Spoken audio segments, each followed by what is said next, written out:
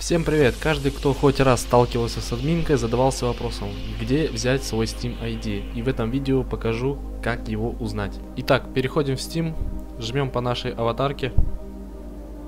Открывается такое окно. Нам нужен профиль. Вот наш профиль. По аватарке правой кнопкой мыши посмотреть исходный код. Здесь мы жмем сочетание Ctrl плюс F. Откроется окно поиска пишем Steam ID вместе. Нажимаем найти далее. Перемещаемся на одну строчку ниже. Это число есть ваш Steam ID. Ну а на этом все. С вами был Илья Колесников. Спасибо за просмотр. Кому помог, ставьте лайк, подписывайтесь на канал. Пока. И да, чуть не забыл, кому нужен Steam ID в другом формате, переходим на сайт, который будет в описании и вводим свой числовой Steam ID.